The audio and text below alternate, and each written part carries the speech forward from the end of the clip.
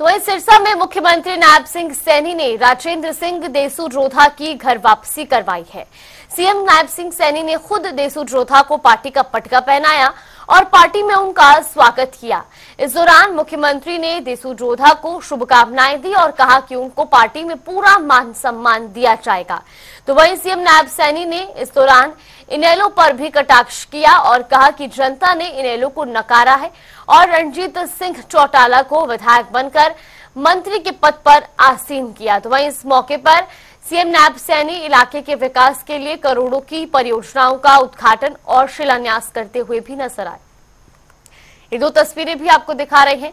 पहली तस्वीर जहाँ राजेंद्र देसु जोधा को भारतीय जनता पार्टी की सदस्यता मुख्यमंत्री नायब सैनी ने ग्रहण करवाई और दूसरी तस्वीर आपको दिखा रहे जहाँ उन्होंने करोड़ों के विकास कार्यों का उद्घाटन और शिलान्यास किया। राजेंद्र जी के साथ जिन्होंने आज पार्टी को ज्वाइन किया है।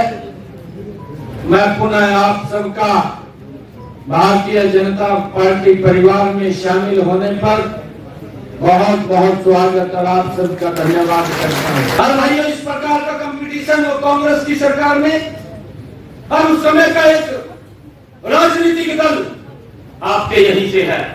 मुझे कहते कोई गुरेज नहीं है? वो पता क्या बोलता था? सिस्टम को ठीक नहीं करते थे।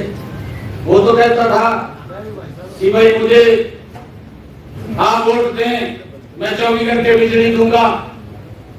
चौधरी रणजीत सिंह जी बैठे हम चौबीस घंटे बिजली दे रहे हैं। ये भी इसी परिवार से है। सोलर पैनल लगा करके व्यक्ति का, बिजली का भी पूरा लाइट घर में रहेगी और बिजली का बिल भी ज़ीरो आएगा। जो एक लाख दस हज़ार रुपया उसके ऊपर खर्चा आ रहा ये निर्णय किया हमने। हमने ये निर्णय किया है, नरेंद्र मोदी जी साठ हज़ार रुपए देंगे और पचास हज़ार रुपया हमारी सरकार देगी। जो